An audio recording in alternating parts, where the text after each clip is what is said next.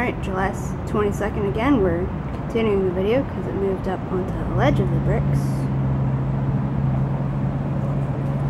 It seems to have some yellow spots, so...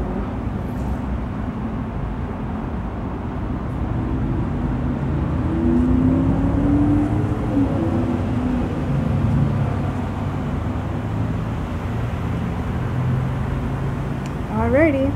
Oh, there it goes.